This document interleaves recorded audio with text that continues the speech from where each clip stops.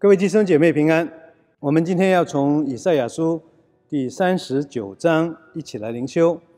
以赛亚书三十九章是一段历史性的记录，记载了西西家王人生中所发生的一件重要事件。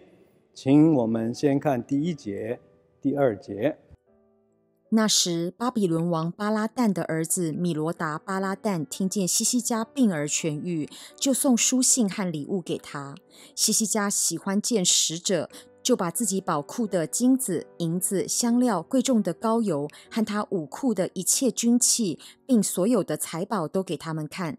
他家中和全国之内，西西家没有一样不给他们看的。当时的巴比伦王巴拉旦的儿子。听到西西家王大病初愈啊，于是呢，他就带来礼物和问候来探访西西家王。哇，这一位生死一线之间的西西家王，心中大概很受感动，还是很高兴，甚至有一点点的高傲了。他就把他国家仓库中所有的东西都秀给这位来宾看了。这里说到的有包括啊金呐、银呐、宝贵的膏油啊，这在当时是非常重要的宗教性的物资啊，还有军械啊，哦，用现在来看，那就是国防工业嘛，哦，然后就把所有的这些给来访的这位巴比伦王的儿子看了。等他走了之后。现在先知以赛亚出现了，从第三节一直到这一章的最后，以赛亚先知和西西家王有一段重要的对话，请我们来看经文。于是先知以赛亚来见西西家王，问他说：“这些人说什么？他们从哪里来见你？”西西家说：“他们从远方的巴比伦来见我。”以赛亚说：“他们在你家里看见了什么？”西西家说：“凡我家中所有的，他们都看见了。我财宝中没有一样不给他们看的。”以赛亚对西西家说：“你要听万军之耶和华的话，日子必到，凡你家里所有的，并你列祖积蓄到如今的，都要被掳到巴比伦去，不留下一样。”这是耶和华说的。并且从你本身所生的众子，其中必有被掳去，在巴比伦王宫里当太监的。西西家对以赛亚说：“你所说耶和华的话甚好，因为在我的年日中必有太平和稳固的景况。”先知以赛亚来见西西家，首先问这些人是谁，他们从哪里来的？那西西家王当然就说：“这些人就是巴比伦王的儿子嘛，从远方而来嘛。”那从对话里面，我们就知道这个访问肯定不是只有巴比伦王的儿子来，而是一个访问团啊。所以，以赛亚先知问这些人是谁？那么这个访问团是国王的儿子，也就是巴比伦的王子带队啊。然后先知以赛亚问他：“那你给他看了什么吗？”哦，西西家非常的高兴说。我我家里什么东西都给他们看了，这个对话从语气上，从对答上，更是从西西家王的行动上，就给我们看见他背后的动机或者是态度了。肯定他认为巴比伦王的儿子，也就是巴比伦的王子，这是一个友好访问了，所以他完全没有戒心的。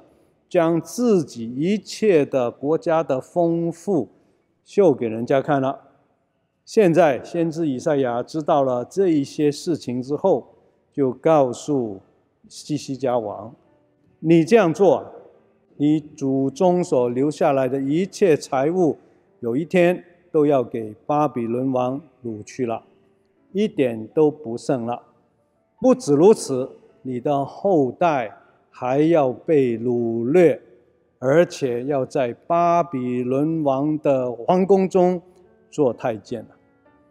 这件事的的确确使得将来犹大国亡于巴比伦王国的一个根源。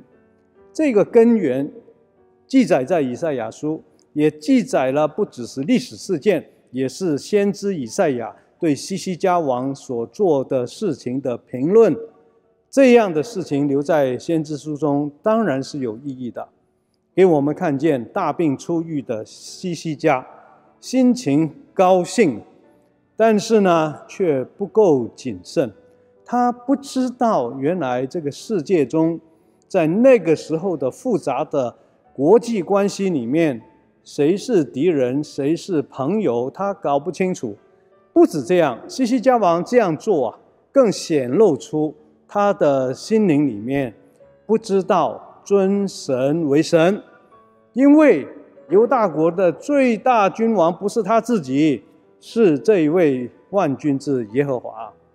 他竟然将国家的一切秀给一个不知道是敌是友的访问团。一个人假如连这一个的分辨都忽略了，或者说这么不谨慎的做出这样大的决定，肯定后果不堪设想。当然，这是一个历史事件，对今天的你和我而言。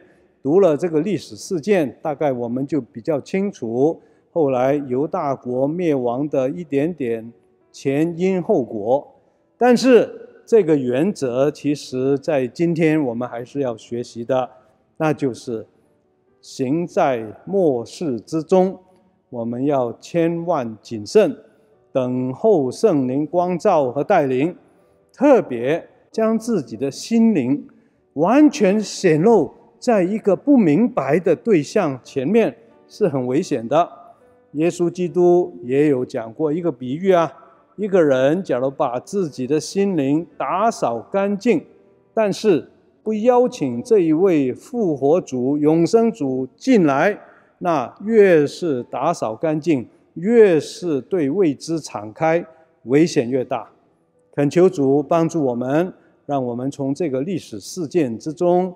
学到一个功课，那就是圣经提醒我们的：在末世之中，我们应该谨慎自守，警醒等候。愿主透过这个历史事件，今天教我们一个重要的属灵功课。平安。